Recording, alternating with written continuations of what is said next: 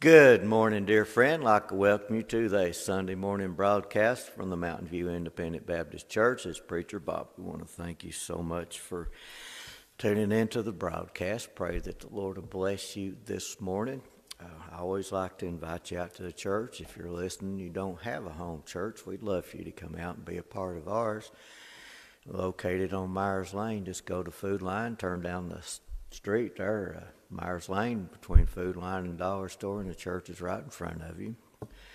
10 a.m. for Sunday school, 11 a.m. for morning worship, at 6 p.m. for evening worship. Sunday, Wednesday night Bible study is at 7 p.m. We'd love to have you come out and be a part of our church. We're going to be in Matthew chapter 3, verse number 16 today. If you have your Bibles and you like to read along as we read along, that's where we'll be in Matthew chapter 3, verse number 16. And it's about the Jesus baptism. John the Baptist baptized him.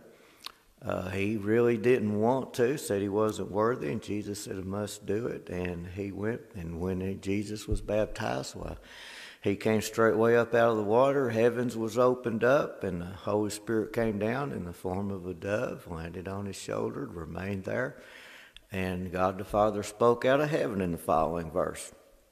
And what a sight that must have been to have Father, Son, and Holy Spirit, the Trinity, all there together at the same time. Matthew chapter number 3, verse number 16. And Jesus, when he was baptized, went up straightway out of the water, and lo, the heavens were opened unto him. And he saw the Spirit of God descending like a dove and lighting upon him. Let us pray. Father, as we bow before you, Lord, thank you for the gift of this day. Lord, thank you for the reading of your word, for the opportunity to be in your house and proclaim your precious word.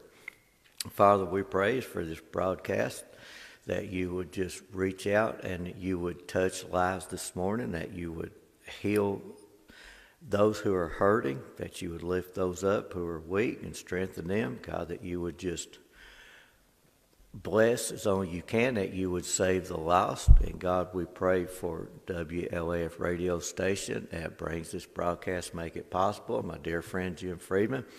Lord, we pray that you would ever uh, bless that radio station and all those who keep it open and bless their families. We pray for our first responders that you would bless them and their families, for the police and firefighters and the rescue squad, the doctors, the nurses, for the military and for their families. We pray for our country that our country would turn back to the Lord Jesus Christ. God, we pray for this message, for the power of God upon it. Lord, for the words to say. And we'll be so very careful to give you all the praise, the honor, and the glory for it. In Christ Jesus' precious, holy, saving name, we do pray, and amen. Notice the verse number 16 Jesus. Now, when you read in the Gospels about Jesus, Jesus is usually and always ministering to someone else. He's healing all manners of sickness. He is casting out demons. He's calming storms. He's preaching or teaching the word. He's ministering to others. But we find here in Matthew, there's a record of Jesus being baptized. Now, granted, we always believe now that you get baptized after you're saved. Jesus had no need of salvation, Jesus was sinless. Jesus didn't have to get saved before he got baptized, but he followed in baptism. He identified with sinners, even though he was sinless Lamb of God. He became sin on the cross of Calvary for us so that he could forgive sin. But here we find, and I just like to make this point being baptized without being saved is useless you get saved first, then you get baptized. And the there's a misconception that you have to be baptized before you're saved is simply not true. You got to be saved first. Then you follow in believers' baptism as a public uh, record that you are trusting Jesus as your Savior and you're now following in believers' baptism. Jesus didn't need a Savior. He was the Savior and the only Savior. but he followed in believers' baptism. He set an example that once we're saved, we do need to follow in baptism. But notice this he was baptized. But you look at the word baptized in the Word of God, you only find it in the New Testament. You find that he's baptized. But I notice, moving on, that once he was baptized, he was immersed. We know that to be true. But he straightway, which means immediately, after he was baptized, he came up out of the water. Now, when he came up out of the water, he had been baptized by John the Baptist. He encouraged John and said, I must be baptized of you. That was part of what John's what God the Father called John as John's ministry was. He was the forerunner of Christ. He preached there's one coming who's whose sandals I'm not even worthy to latch it. He said, There's coming one that I'll baptize with water, but he'll baptize with fire. There's coming one. He identified the Lord Jesus as Jesus came out of the Judean wilderness. He said, Behold, the Lamb of God that takes away the sins of the world. And even from his mother's womb, God named John. He gave him a ministry. And John has just now fulfilled the ministry God the Father gave to him before he was ever born. And he identified him. This is Jesus. He's the Lamb of God. He is the one that will take away the sins of the world. He's the one I've been preaching about that one day would come. I must decrease so that Jesus can increase. And when John identified him, introduced Jesus to the people that were there at the Jordan River that day, announced who he was, and then when he followed by baptizing, John's ministry began to decrease. And you'll find us shortly after that, John ends up in Herod's prison, and of course, uh, his head was cut off. But let's get back to the baptizing. Straightway, immediately, he came up out of the water. That is like the, he was looking ahead, showing us the resurrection. Now they call it the watery grave.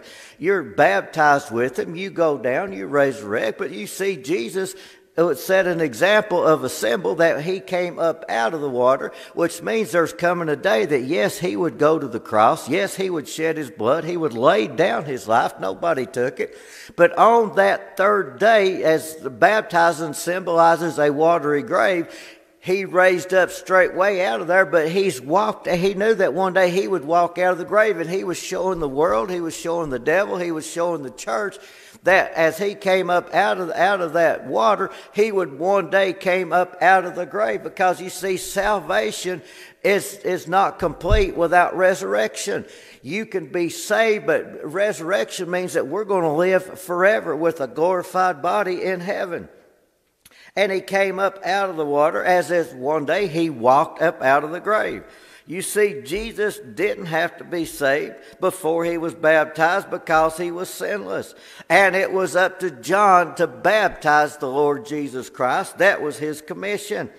But we baptize, we rise, we come up out of the water, but it's so that we can live and it's so that we can serve.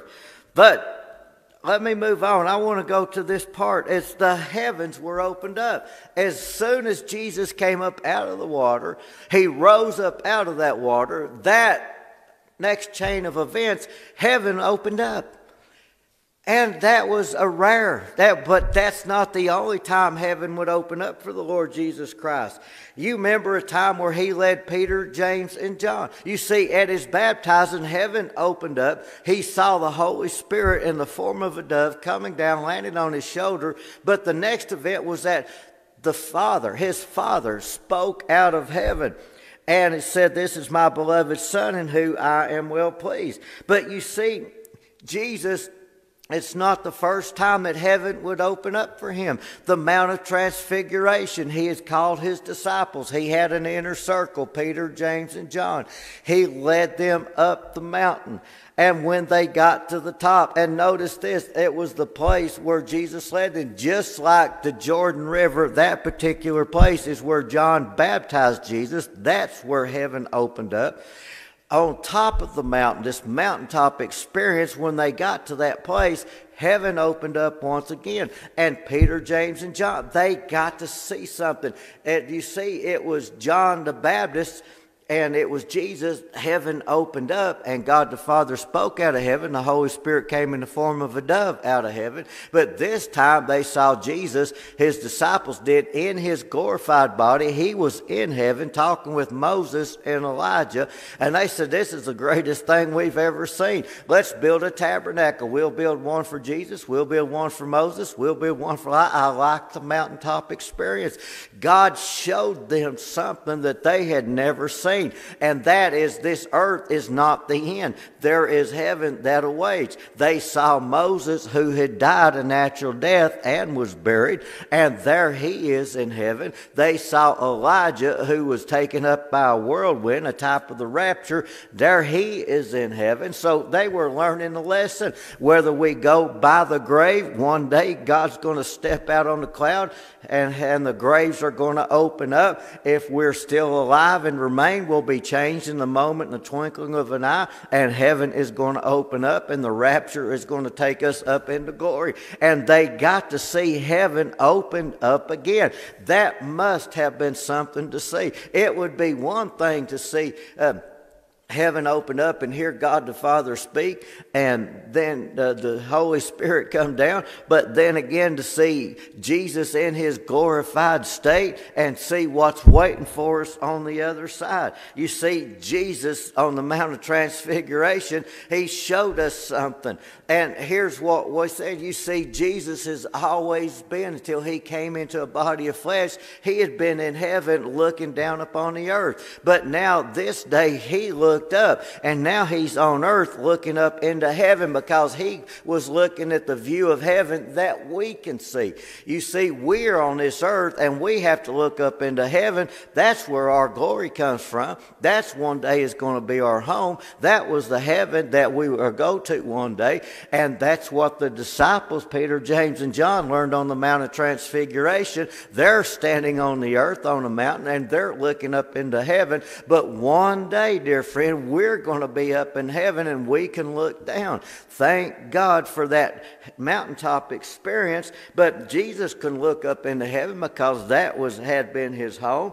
He looks down uh, from heaven one day. He looked down and he looks down on his creation. He created the heavens and the earth. He created everything that's in it. There's nothing that has been created that wasn't created by him. But God gave us a vision is that one day, right now, we look up, but one day we're going to look down. This is his creation.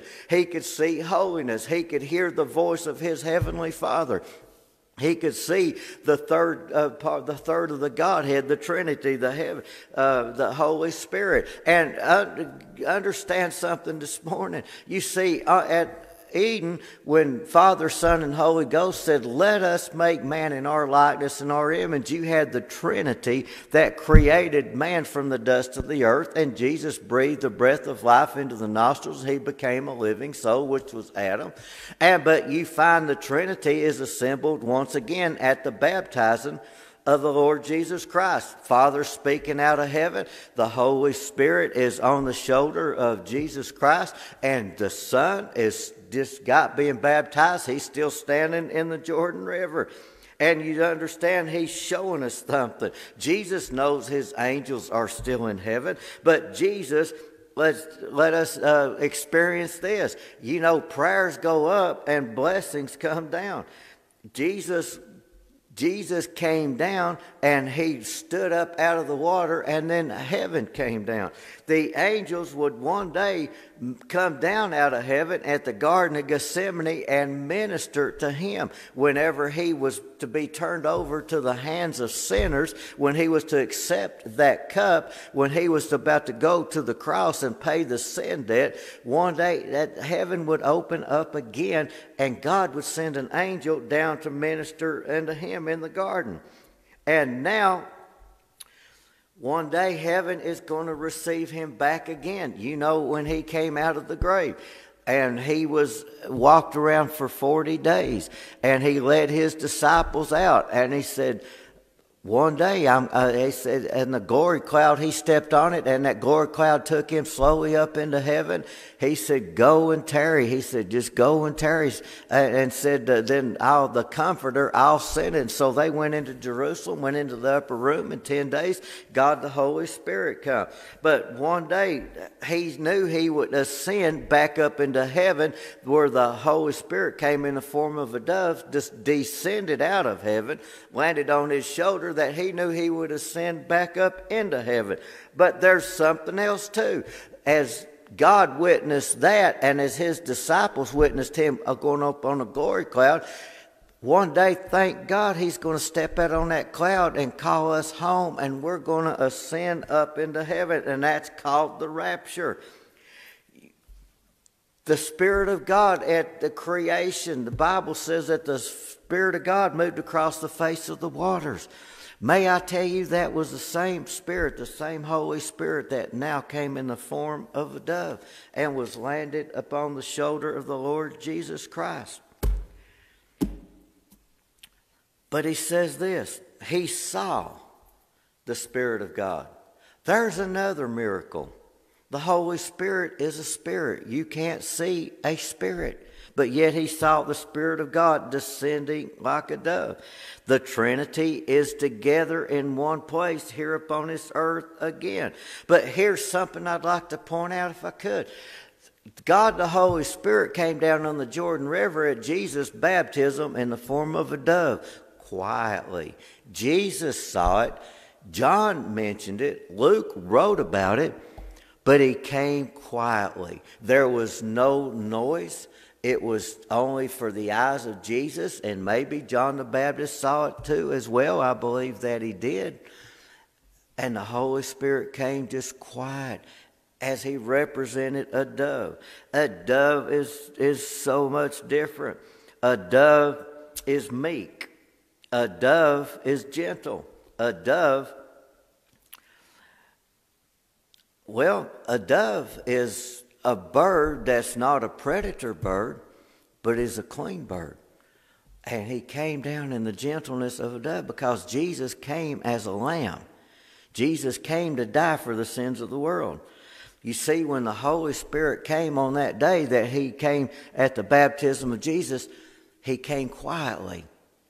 But when the Holy Spirit came to the church, he came in a whole nother matter. He was like a mighty rushing wind. When the when he sent the Holy Spirit down as the comforter to empower the church, he came as a mighty rushing wind, but as cloven tongues of fire. You see, the Holy Spirit came in another form. The Holy Spirit came in a different way. When he came to the church on the day of Pentecost, he didn't come quiet that day. He came very loud. He announced his presence. He came and went up the stairs into a room where hundreds 120 were assembled of what were of one mind and of one accord. And when he came that time, he came very loudly. He let the devil know, he let the believers know that the Holy Spirit had come back, but it was to empower the church. And what God is trying to tell us is this just as the Holy Spirit came down at his baptism and landed and remained upon his shoulder, when we get saved, we do get the Holy Spirit. It's not a second act. It's not something that happens at a separate time. We get saved. We get sealed. We get the gift of the Holy Spirit. We get the God that He seals us to the day of redemption. And He empowers us and He leads us and He guides us.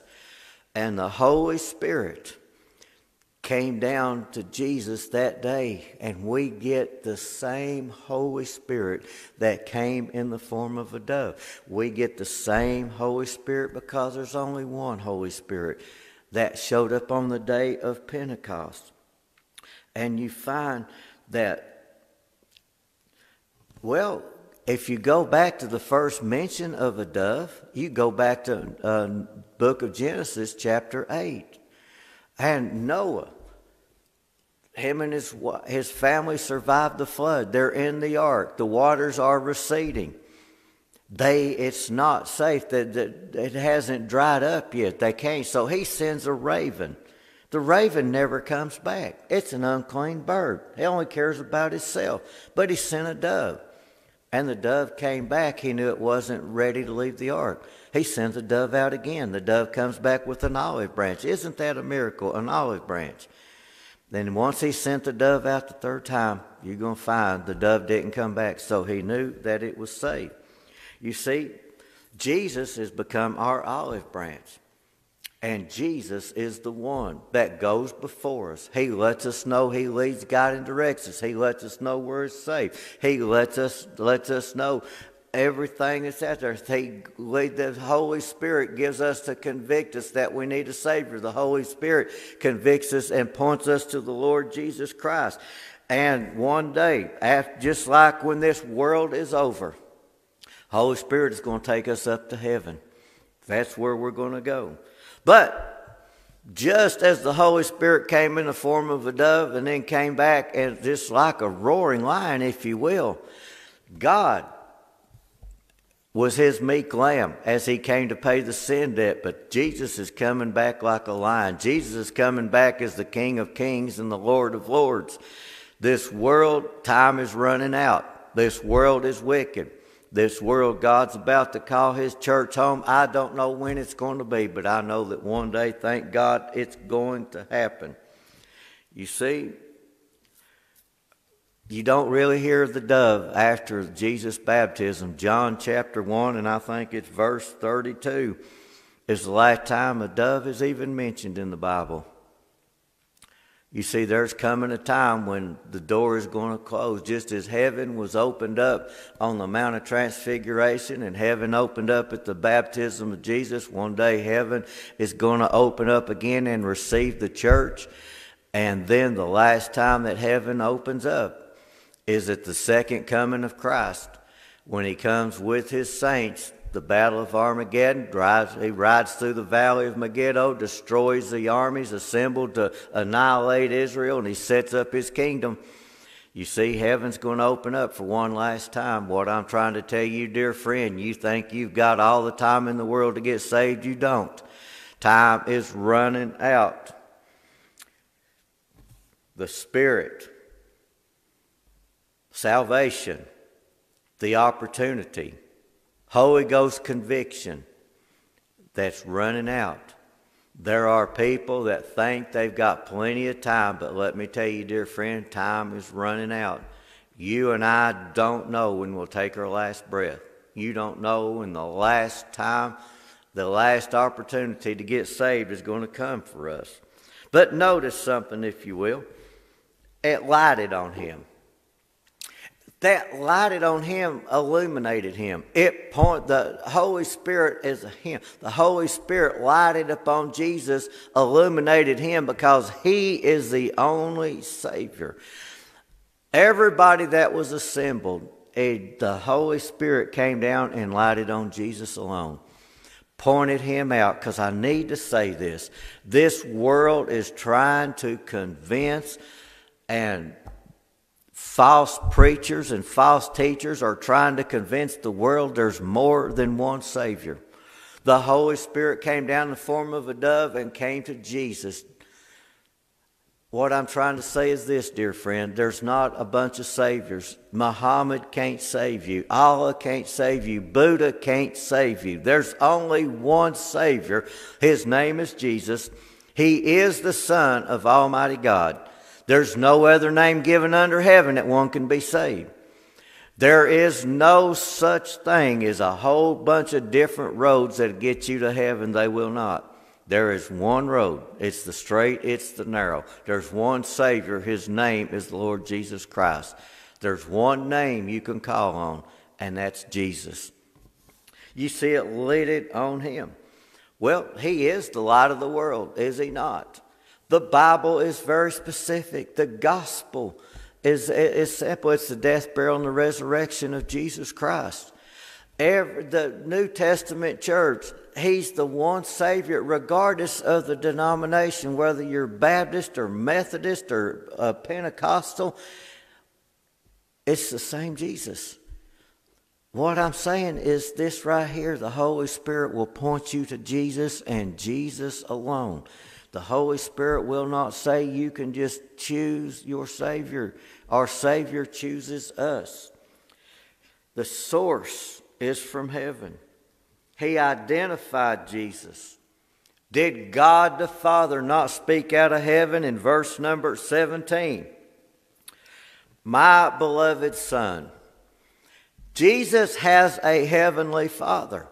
He mentioned his Father. He said, I'm here to do my Father's will. And when his Father spoke out of heaven, he let everybody know, as he still does today, he has one begotten Son. And he calls him in verse 17, He is my beloved Son. And he makes a statement. And he says this, In whom I am. Notice the I am. I am well pleased. Can I ask you a question? Are you living for the Lord? Are you living a life every day? Do you represent the Father in a manner that He is well pleased with our life?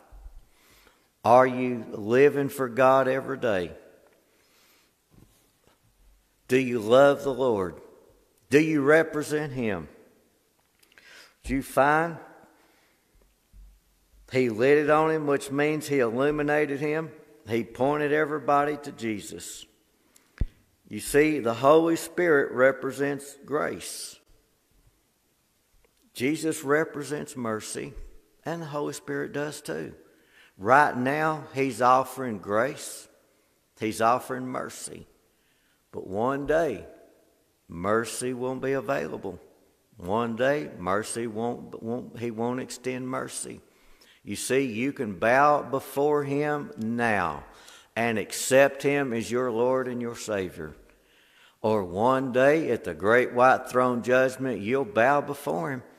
You will recognize and say, You are the Son of God.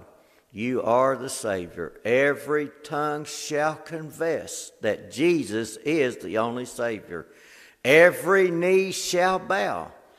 But you'll find no salvation at the great white throne judgment I'm trying to tell you this morning as a warning, dear friend, the Bible is true. The Bible is accurate. And The Bible specifically says you better get saved while you can. Jesus is extending this olive branch. Jesus is extending salvation. Jesus is letting you know that He came and He died upon the cross. And He came as a Savior. He came as the Lamb of God. He came extending salvation, but when He comes back, He's bringing judgment. And you need to get saved while you still can. We live in a time where people ignore that. They ignore salvation, they ignore hell. They think that they've got all the time in the world, but you don't. Time's running out. I don't know when he's coming back, but I know the Bible, which is true and accurate, says he is. What I'm saying to you, dear friend, is my time is running out. I'm going to ask you if God's dealing with your heart, would you bow your head and ask God to come into your heart and save your soul? While you still got the opportunity, don't wait until it's too late. Don't wait until your time is run out. Bow and get saved while you can. Thank you for your time. Have a blessed day.